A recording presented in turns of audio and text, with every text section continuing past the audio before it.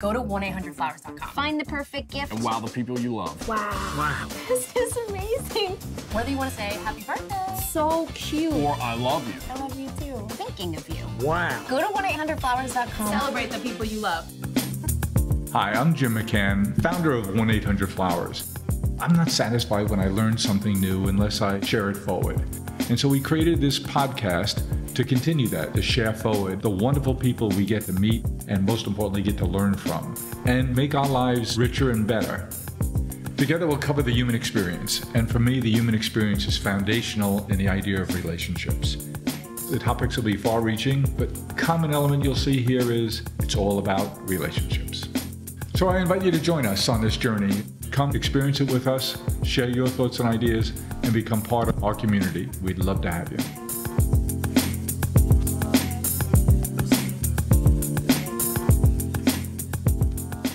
How are you? Tim, how are you? Good. So you go to Berkeley. Uh, what did you What did you major in? I, I went in as a mechanical engineer and left as an industrial engineer. I realized I enjoyed math more than physics, Uh-huh. but, but also the world of industrial engineering was closer to product management and design and computer science, and and so I um, uh, ended up while at college working at a small company at the time called Salesforce.com and uh, didn't know what they did, uh, but got this incredible internship that turned into kind of working through the school year. But the funny part about that story is in my head, I was taught kind of growing up, like you want to work for a big company, not a small one. And so, Well, seeing his dad worked for a rather big enterprise called the U.S. Navy. yeah, exactly. And so uh, on graduation, I went and worked at Microsoft because I really wanted to learn what it looked like to work in a large organization and end up working for the Office for Mac team. You very quickly, you know, as you get older and you see how things work, you go, oh, wait a second here. That startup there was doing something quite incredible. And I think the Berkeley today actually orients more of its students around the startup ecosystem that's in the Bay Area. But this was Yep. you know 06 07 when it was just different then um, but I, I loved my time at microsoft i learned so much I, I i think you need to spend time in small companies and large ones to be i think an effective leader because you then understand the nuances and what you can change and what it looks like when you're a fast moving ship or a large one like Yeah. the us federal government if you don't work in a small company and you do only work in large companies, you don't know what you don't know. I remember years ago, uh, Ryan interviewing a nice man, early 50s, uh, had worked for 30 years at a very big company in Manhattan. Uh, Seagram's was the company. He said to me, I'm, really entrepreneurial. And I thought, oh, how sad. You know, he, he just doesn't know.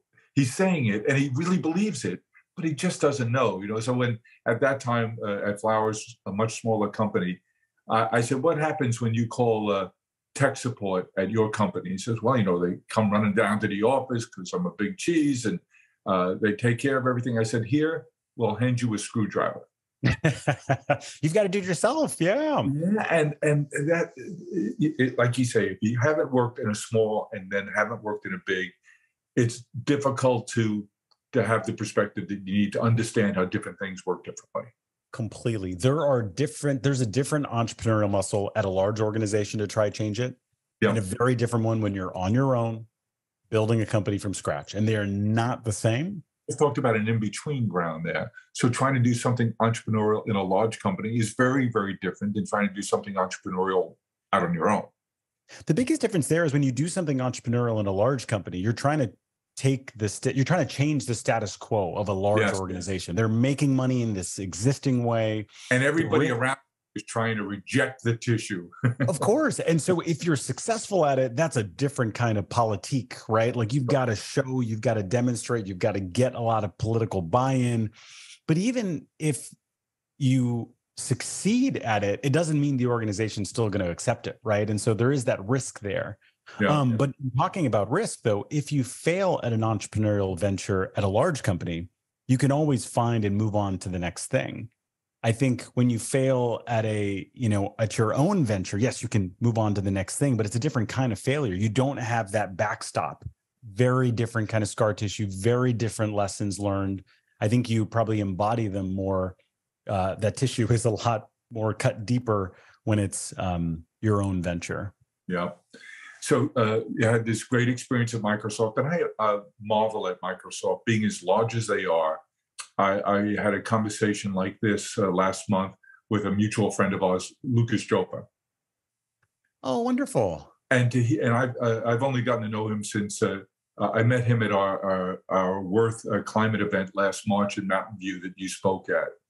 And I met him there, and he just made such an impression on me. First of all, he's such a nice guy, such a smart guy, and the different crazy things that he's done. But he speaks with reverence about his experience at Microsoft and the opportunities he had. And so I, as you do, and I hear uh, so many good things about how they're able to maintain such, let's call it the largest company in the world, at least from a market uh, value point of view, one of the largest certainly, uh, that they're able to maintain with so many people that entrepreneurial spirit in, in so many quarters of the company.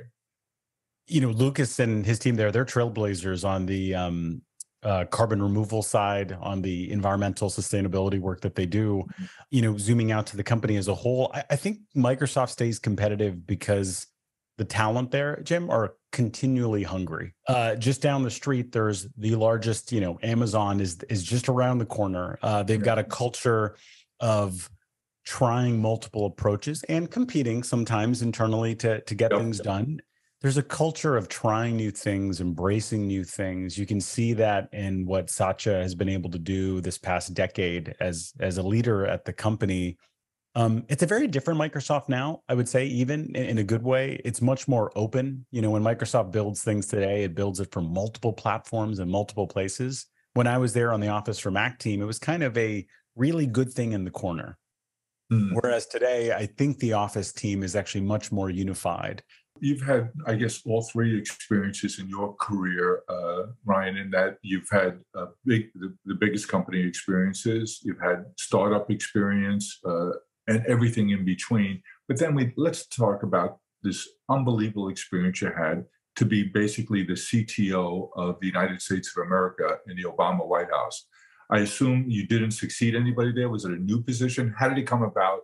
So I was the uh, deputy chief technology officer for the United States, and so I had the uh-huh. privilege of working for both Todd Park and Megan Smith, who were both the CTOs. Um, it was a new position created under the Obama administration to effectively the first iteration of it was to uh, how do you ensure that the us stays competitive on technology and so it was a policy kind of focus when todd came in it was then it, the role expanded to being okay keep the us competitive but how do we as a federal government stay competitive and build the best technology for people using our services right like if you file your tax form or you get healthcare through healthcare.gov or something like that and then when Megan Smith came in, it was really about entrepreneurship. How did you get there? How did how oh, did yeah. you get how did you get tapped? Kind of in the most random and serendipitous ways. And so the company that I was working for, um, uh, Acqui-hired mine. I was building a digital health company.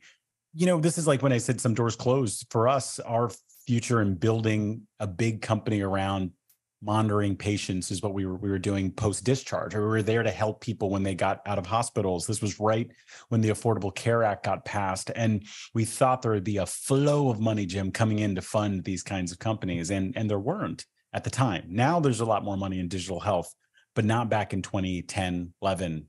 And so we decided our best path was to get acqui-hired. And so we did. We joined this amazing company called Ginger.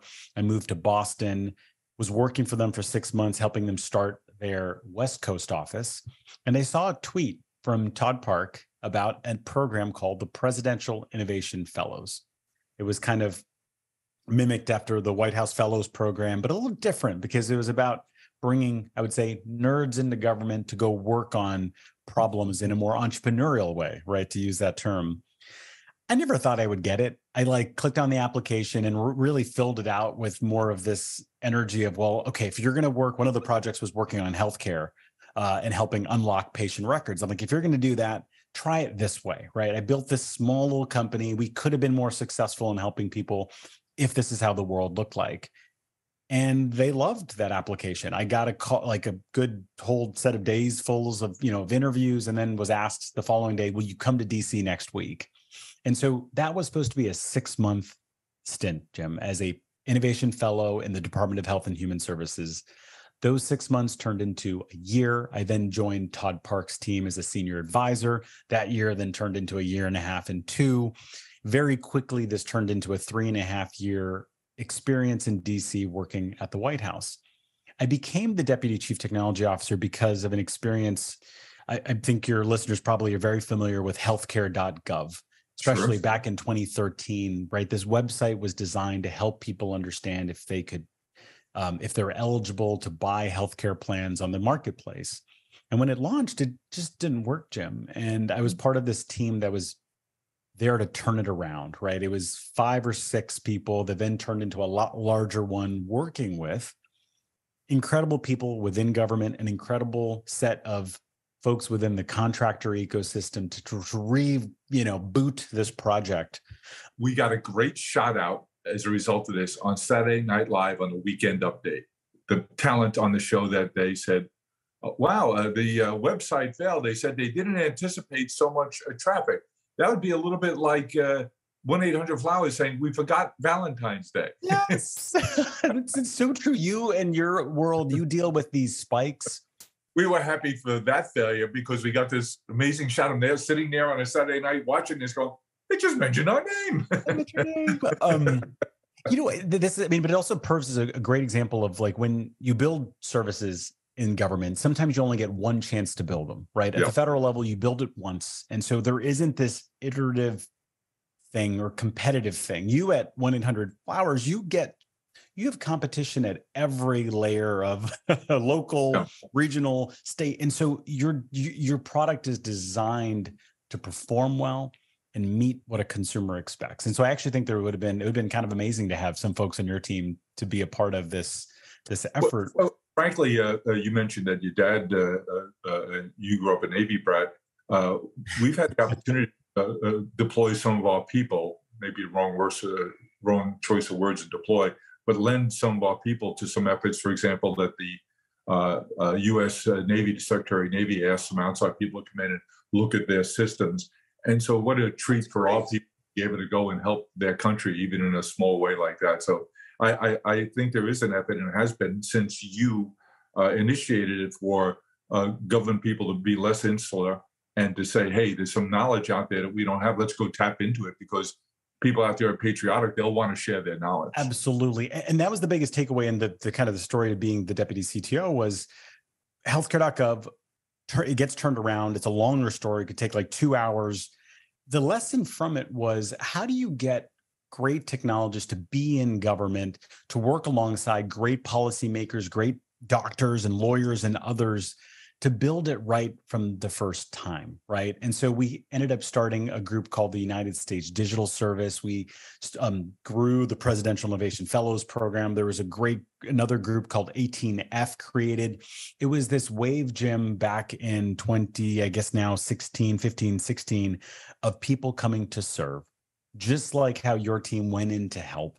Part of these different experiences working as an entrepreneur, working in a large company, working in government, working now in venture capital, I, really, it's been this search to really empathize with each of the different levers of how to tackle a problem. You know, it's very easy to say government doesn't know how to do things or nonprofit doesn't or, you know, for-profit stuff does things best. And that's completely not true. We can all learn from one another, right? And if we actually come together, focus our attentions on the real, you know, the problems that matter, like good stuff can happen. And you were controversial then, I remember, Ryan, because in government, you were using the word open source. We, we were using uh, the two words open source and open data. You know, yep. uh, uh our feeling was if taxpayer dollars were used to fund a program, to fund the collection of data, whether it be on school test scores or satellite data tracking weather, you know, patterns, it should be made available to the American people and the public. President Obama was super supportive. He signed the Open Data Executive Order. Um, you know, the, the data.gov was created so people could go and find these data sets. One of the best things that happens when you open data, right, Jim, it's called like the sunshine effect, right? With transparency, good things can happen, right? And so there was a lot of open data transparency efforts in uh, from the Department of Health and Human Services around how much people were getting charged for healthcare procedures, right? And it you know led to all these reports and investigative pieces around. Oh my God, why does one place charge fifteen thousand, another fifty, and they're just a mile apart? The different different stages of efficacy. Exactly right. You um so the, the kind of the the gems here were the data was already being collected. So all you had to do, all you had to do in quotes, it took a little effort, just put it online in a machine readable format and let the mm-hmm. public use it. And if people start to use data sets and have at it, exactly invest more in it. The culture continues today to to today, which is exciting. You know, the, the, the, on the open source side, I think it's because folks want to share the work that they're they're doing, right? Like um, one of the first health record systems was created by the Department of Veterans Affairs, right? And they built it, and it's things like that should be made open source, right? Because mm-hmm. it's taxpayer dollars working on something important, so share it with the world. And it's not only catching on, I think it's why you are seeing more people come in and work in government because they come in, they do this work, Jim, and people get to see it. We put our heart into everything we do. We are farmers, bakers, florists, and makers who grow and create with a passion. 1 800 Flowers. Share with love. So you change the world. You have a wonderful, uh, almost four year experience in uh, Washington, D.C. And then what happens next? Uh, so I was uh, living in DC, but my wife was in California. So I was mm-hmm. traveling far too much between the two, for between the two cities. I always say that you know cities. Uh, if there are two cities that had a date, San Francisco and DC, that's a good combo, right? San Francisco mm-hmm. wants to change the world, so does DC. You know, if DC gets in too close with, you know, like a New York, it's a different kind of incentive, or LA. I don't know, more teasing than anything. Um, but I, I had to come back, and so I came back in 2015, and was really set on building another company.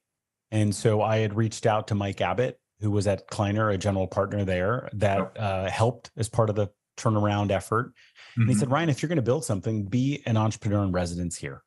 Come here, spend time at Kleiner, tap into our network, see if what you want to build is what you want to build.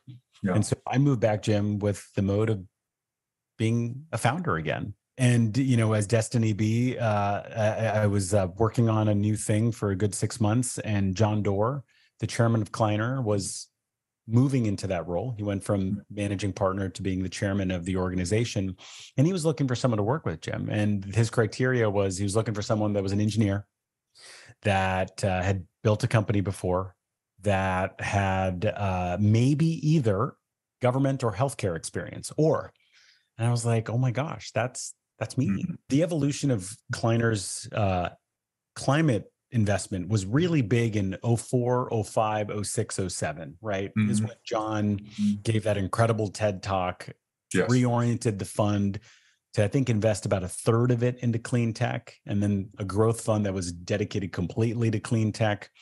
But you remember that bubble kind of burst in 08. And we yes. can talk more about how really it just took a lot more persistence and time because uh, there were many gems that came from that experience. But when i had joined kleiner 2015 16 it was very much we were focused on consumer tech enterprise tech and hard tech with a digital health practice as well too kind of categorically the disruptive technologies in in the valley. And so yeah. we are very much working and investing across that spectrum. Uh, not climate at the not time. climate, yeah. yeah it was deprioritized. What's your portfolio then when you start with John?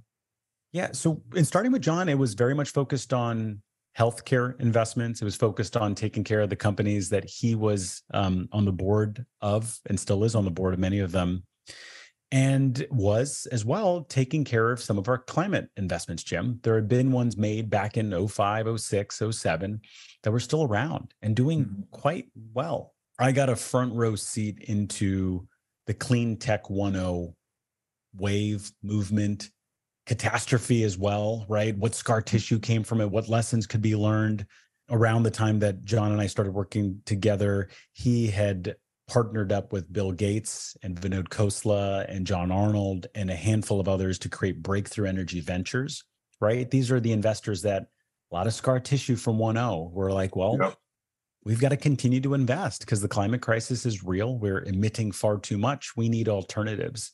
Front row seat, Jim climate clean tech was not in my biography like bio or background or experiences mm. but i got to see the company building side of it i got to see the stresses of it i got to see what the you know heroes looked like from the lynn juriches at sunrun to the ethan browns from from beyond like the grit that it took right to build these kinds of companies. And then 2020 rolls around right before covid we were trying to figure out how we were going to ramp up our climate clean tech investing and philanthropic work because as chairman john is basically able to do a lot more out of his family office as well right? He's kleiner first. I'm kleiner first as well.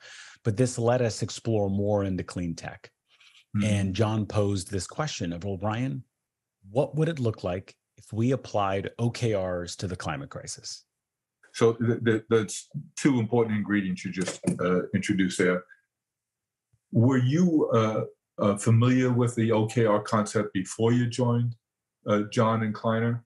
Uh, how did that education evolution take place for you? Yeah, I was introduced to OKRs, believe it or not, Jim, uh, working on the healthcare.gov rescue. Mm-hmm. Mikey Dickerson was one of the rescue team members, and he came from Google. and we were in this you know war room situation room like environment 20 different contractor organizations six different folks from government and we're all throwing out what the problems looked like what measures we needed to tackle and mikey so beautifully brilliantly concisely wrote on the board uh, effectively we are going to fix healthcare.gov for the vast majority of people and then he wrote these measures down there he's like we've got to get seven out of ten people through that are applying. We need a one second response time, a 1% error rate, and 99% uptime.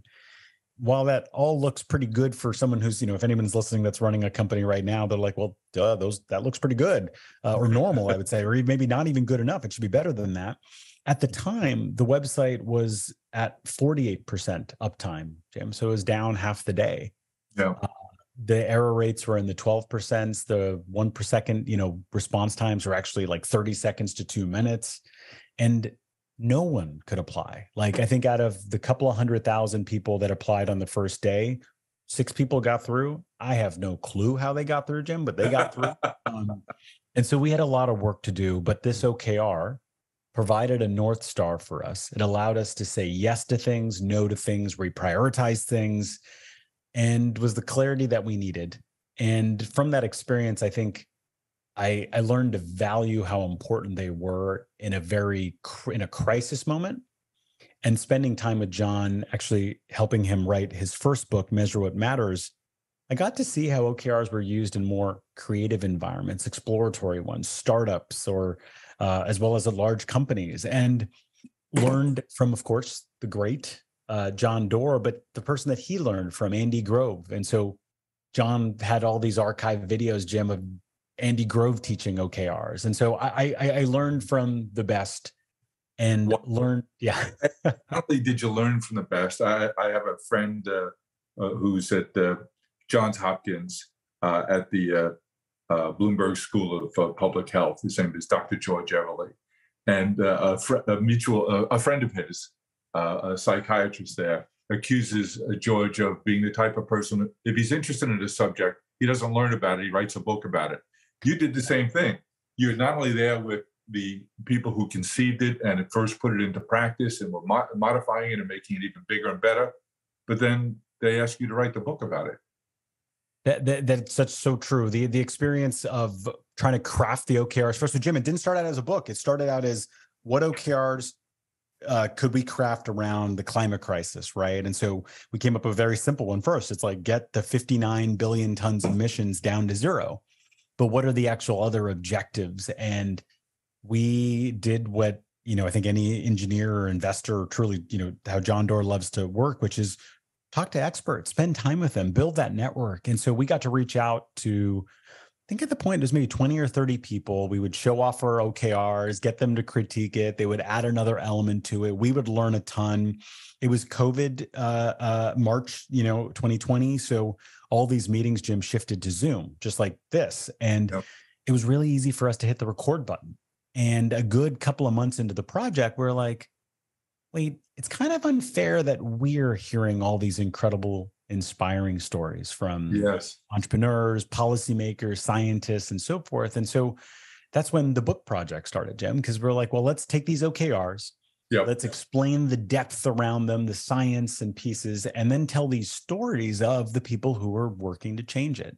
And so mm-hmm. that's how speed and scale was was born. And it's where the action plan comes from, right? And the actual OKRs that are you meet Yes. this little baby. Yes, that little So baby. you write the book on OKRs, which frankly is becoming a Bible in any company I'm involved with. Thank you, Ryan. But then speed and scale. First of all, when I say it's a heavy book, I mean that literally and figuratively. It is one heavy physical book. the paper stock you wrote this on is uh I hand it to people, I go, whoa.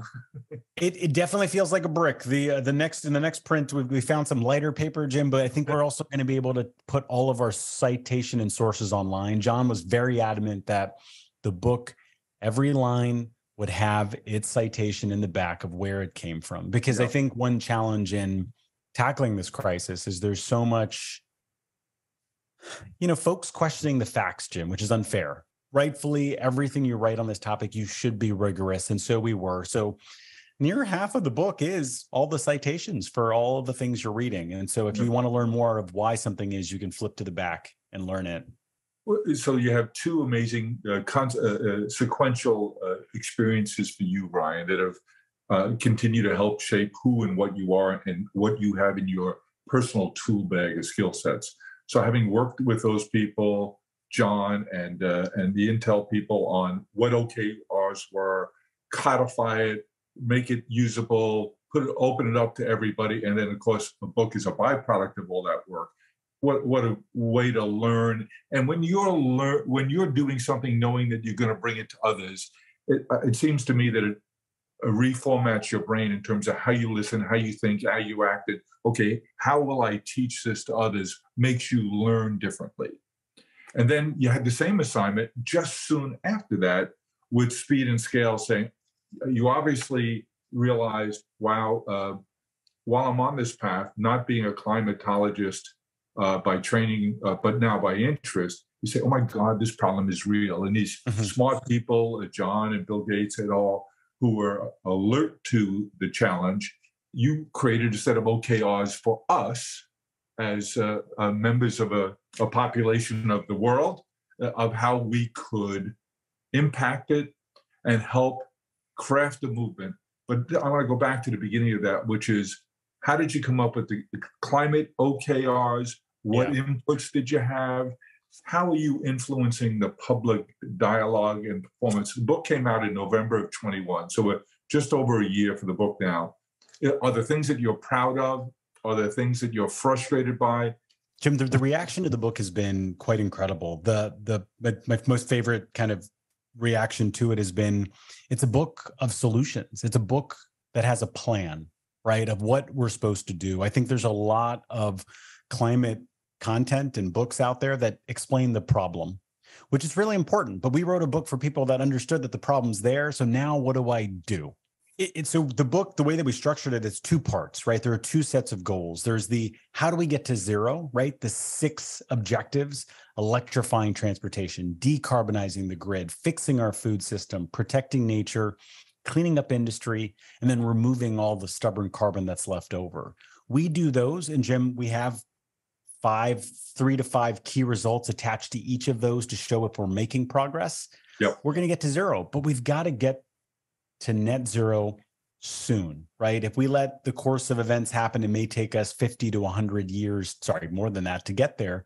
Hmm. We need to cut emissions in half by 2030 and then all the way by 2050. We have to keep it net zero, but you're right. Depending on how late we are to hit that target, we may have to remove more from the atmosphere than we're emitting. Our friend Lucas said, Look, it's hard for us to focus on a lot of things. Let's just focus on carbon particles. It's a yes and. It's I would say carbon and then methane. Methane's a, a kind of a notorious little one that help that sorry doesn't help. It actually just heats the world just a little bit faster or a lot faster than CO two. Yeah. But, um, Jim, the one other part too is the second part of the book is the accelerants, how we get there faster. And these are the things that you can, you and I can actually pull on. It's about winning the policy and politics, right? We need policies passed that set building standards, set and create great grids in the country and so forth. We also then need to turn movements into action. That's everything from voting for people that care Well, about before, this. Yeah, before you turn before you turn the movement into action, of course. a big part of that seems to be that what I've learned from you, just in the, the interactions I've been fortunate enough to have with you, is it takes a movement. Totally. And movements can happen in all places. You know, an activist is Greta Thunberg, who goes from one year striking by herself to getting a million students out on the streets to making climate a top voting issue in Europe. Mhm. Activism also is companies and boards and CEOs saying we are going to reach net zero by a certain target and actually mobilizing the resources within their companies to get there. You know, the vast majority of emissions have happened in the past 30 years. Our kids and the grandkids, you know, they're the ones that are going to experience the effects of it. And so there's this urgency now, Jim, of to do the right thing. I would say what's changing now, though, is the right thing often is the better thing, the more performant thing, the profitable thing. And that would mm. be the biggest change between, you know, when we wrote the book. If we wrote the book just five years ago, Jim, or 10 years ago, I wouldn't be able to say a few things. I wouldn't be able to say this. I wouldn't be able to say that solar and wind is now cheaper than oil and gas, right? And coal. I wouldn't be able to say that Beyond Meat and Tesla are incredibly valuable companies. I wouldn't, there's so many more proof points today, Jim, of the thing that we want to see happen, the cleaner, greener thing Mm. being actually the profitable thing, right? John Doerr has this nice saying when he goes, when the right thing becomes the profitable thing, it becomes the probable thing. And I love that. and and what you're seeing and learning, I think the electric vehicle movement is is phenomenal because people are picking electric vehicles not because they're green, Jim. It's because they're better vehicles. You know, you buy the vehicle, you pay a little more in some cases, and then you you know you talk about that it's green, but you're buying that Ford F-150 Lightning because it's a battery that can actually you can use in the field. You're buying a Tesla because it's faster, more performant than you know a gas guzzling car oh, I, you know, I, exploding fossil fuels is very inefficient. Remember the four accelerants policy politics is one, movements is the other. The other two are innovation and investment. When you think about innovation, it's really about cost, Jim. The, the hard lessons learned from Kleiner and its original clean tech investing is if you're building a new company that's producing a commodity like energy or fuel, you compete only on cost. And that's really a wake up call. Um, if you compete on other kinds of products, it can be about performance, the things you drive, the things you put on your face, you eat, and so forth. And so people will pay the premium there. But one thing we realized is we are missing the talent needed and the companies needed to help get us between 2030 and beyond. So we have all the technologies that we need, Jim, to cut emissions in half, right? Solar, wind, good storage, electric vehicles, you know, scaling up lithium ion and stuff like that. We have that right in front of us, and that'll get us easily halfway there. But the other half, Jim, is hard. Cleaner steel, cleaner concrete, other ways of truly long duration storage that we haven't invented yet. And for that, we're going to need innovators. We're going to need, you know, new policymakers to be trained to pass the right policies. And so, a school like the Stanford Doerr School for Sustainability is a place that can create that. One of my favorite reflections that John has about the school and why Stanford, and it's really that entrepreneurial spirit. You know, when you look at the number of companies that have come out of Stanford, I think it's in the 20,000 plus. But when you look at amazing.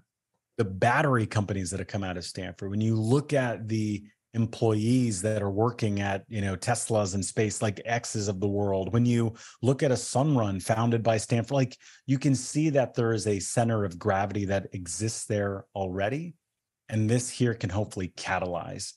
Um, but like John says too, Jim, there's going to be many climate schools. Uh, this one in particular sets the bar differently because it's not only a school that's bringing the policy and the sciences you've got engineers and chemists and civil engineers under the same roof as well too and so it's a very holistic school there to solve problems What an amazingly audacious step and activity to say, I'm putting my money where my mouth is and I really want to make a difference. I, I applaud John and you and the work you've done there. It's just amazing. And you mentioned how now five years later you can say things that weren't true five years ago, like it's now more cost effective uh, uh, to use and uh, wind and uh, solar. And uh, we had a conversation. I know you know uh, Ken Washington, our friend who used to be the CTO at Ford Motor Company, now running robotics at Amazon. Ken's an amazing guy. I like him a lot. Better than him is his wife, but Angela, who's just a terrific lady. But in a conversation with Angela and Ken, I asked Ken, who's a nuclear physicist, I said, if you were the czar of energy in the world tomorrow, uh, wh- how would you shift our bets? You don't have to go to a committee. Where would you? I thought, sure, Ryan, that he would say, I'd go nuclear. Yeah. And he didn't. He didn't. He said, I wouldn't shut down nuclear. I'd keep it yeah. going and keep it, the investment there, but everything should be solar now because the economics have just turned in the last few years to make it the way to go. His forecast is that you'll be able to make steel with AI uh, engineered and, and empowered uh, solar energy uh, in the very near future. And that's pretty amazing because steel takes a real high temperature and therefore it emits a great deal of carbon. But if you could switch just one industry like that that's so dependent on mm-hmm. fossil fuels to solar, that would be remarkable. It would be remarkable. I mean, when you take solar and wind and a good storage system and you have it together, you could do anything. Jim, there's going to be a point in where we're going to have excess moments of excess energy, right? Because of we've deployed so much renewables. This is a future, kind of a beautiful future. And in those moments, you can use those to produce clean hydrogen that goes to powering the furnaces that need to produce steel at its high temperatures. He's right. You know, the the truth is like we, we should be keeping all of the nuclear plants we have open. We should be deploying as much solar and wind as we can. We need to start to connect the grid in the US, Jim. Like it's really hard to move energy around. Yeah, it dissipates quite quickly. And there's where science can really help out. Completely. And, you know, we need to then invent things like, you know, new reactors like fusion reactors. Cause, you know, these are the things that if we, we just had as a society our fusion moment it, it, it, did. There was a there was an incredible moment that uh, the you know to unpack that. What happened was they proved that it was possible, right? That you could create net energy in a lab. You've got to find a way to commercially do it, and that's what companies like Commonwealth Fusion and other are going after. But it shows that you know it's Bernoulli principle proving it was possible. Yes. We still need that Kitty Hawk moment to happen. It, exciting. Our kids and grandkids will be much more excited about this. We just sort of, oh, that's interesting, unless you're in the field like you are but I mean, this is something people will write about in history as the moment. Completely. And I think the takeaway, you know, from what even Ken Washington's like kind of reminder is that we've got to take action now. So just because fusion advancements have happened, just because there are carbon removal technologies that are scaling up in the horizon, we've got to do everything we can to clean up the grid, switch to electric vehicles, and doing just those two very big things, Jim, like would get us to that halfway mark. What role uh, can and should government be playing to uh, influence the margins of where we go, what we do, what we invest in uh, to get us further down the road faster? What's on the outside of the wall of the Stanford Doerr School of Sustainability in terms of the dials? What are the measurements, your, your OKRs that you're measuring how we're doing against our goals. Two great questions. So, on the government side, um, two things, three things immediately come to mind, right? Every government should be looking at energy security. Energy security 10 years ago, 20 years ago, and any time earlier was about drilling more oil, finding more natural gas. But because of how cheap solar and wind is, and that the fact that you can produce it locally and you don't have to import it, it means that energy security now strategies, Jim, have to be completely about the renewable, domestically produced stuff. And that is so exciting. The other piece governments need to be thinking about is these are industries of the future. There is going to be a solar and wind winner. And in many ways, it's already China, in many ways, already Europe for wind. But that doesn't mean that the US can stand needs to stand by, right? We invented many of these technologies, right? And so we've got to mm-hmm. scale those up. But it's also about ensuring that the hydrogen industries of the future, that the electric vehicles, all the different parts and pieces, I'm putting the American hat on, that we win on them and that these are the jobs and industries and companies that are based here. But if I take off my American hat and put on any other country, Jim, this is a race, a race to be won. And the neat thing is, winning here means a cleaner, greener future. Um, the OKRs for the Doerr School. Um, what's fun about that is they've got an incredible leadership team there, you know, led by Arun Majumdar, who is the former ARPA-E director. And mm-hmm. he's been very public about how do we build the best faculty faculty community, right? Because they're pulling together all these schools and then they get to add 60 more. And so there's, of course, I've got to imagine OKRs around the talent there. Um, but he's so got the school uh, uh, envisions themselves playing a organizing and leadership role of other schools of climate around the country. Oh, sorry. No, what I meant there was the school itself, Jim, is has pulled uh, okay. faculty members across Stanford and under one yep. roof and gotcha. adding 60 more people, mm-hmm. which means it'll have 800 plus different, you know, grad students and postdocs. And just that kind of center of gravity gets very exciting. It has an accelerator that it wants to lead and and and launch, which is focused on flag post flagship targets like how do we get hydrogen to this price how do we get car and there's so much stuff. I would just say it's also, though, in many ways, the first inning, and they're just getting started. And so, mm. um, I would say for anybody, watch just like we are eagerly to see the outputs of that. Incredible. Well, I, I expect a couple of things, Ryan. Uh, Ryan, I, I expect the next few years for you will be at least as amazing as the last few. Uh, how lucky am I that I get to hang around with you? We serve on the board of Amyris together, so that gives me an excuse to hang around with people like you and John and John Melo. Uh, just a, a, wonderful board, a wonderful company, wonderful set of opportunities in front of them. Uh, anytime I can get more of you uh, personally, or how we can, as a, a, society, create more of you, we'd all be better for it. And I can't wait. I expect that uh, as you get interested in the next subject area, there'll be another book in the next year or two, and I can't wait to read it. Oh, you're too kind, Jim. Thank you. And and for anybody listening, if you go to you know speedandscale.com, you'll find all you know part of this, Jim, is giving, giving, giving. How do we get all this information out there, right? Open source. I mean, that's like actually maybe the, the best way to call it. This is an open source, open data movement around tackling the climate crisis. And uh, and I know you're a kindred spirit with Seth Godin and his new book, and he's all about open source too. He wrote his book in a in yeah, a collaborative uh, uh, kind of way. It's a, a Oh, you have it right there too. oh yeah. And, and, because when you were talking about everything is annotated, everything is uh, uh, referenced here. Clearly, that's what the, our friend Seth Godin did in his book too. And just like you, and like John Doerr, he's he's crossed the chasm in terms of he said climate and climate investing uh, is the biggest business opportunity he saw and he's he, he said that he's devoting 100% of his energy which is like you, a lot of dawn energy toward this effort. So, uh, as a person who struggles to keep up with you smart guys, I, I, don't need to do the work myself. You've already done it. I'm in. I just need to find out how uh, from you and by reading Speed and Scale, how uh, in our in my family, in my own personal life, in our business life, we can help join the movement. So, thank you for uh, thank you for fueling. Pardon the. Of course, Jim. Thank you for having me. The movement and thanks for being so generous with your time. You're an amazing guy, Ryan. I'm happy and proud to know you. Oh, likewise, Jim. Have a wonderful day. And everybody listening, have a wonderful day as well, too. Thanks, Ryan. Birthday. Go to 100flowers.com. They have tons of great birthday gifts. Wow. Wow. Wow. Happy birthday, baby. Happy birthday. Wow. Yeah, me. I got to contain myself. 1 800 Flowers. Celebrate the people you love. Well, I hope you enjoyed what you heard, and I know I'll be sharing it forward. I hope you get to as well. Let's keep the conversation going. Follow me along on Twitter at Jim1800Flowers and on LinkedIn at Jim McCann. Hope to talk to you soon.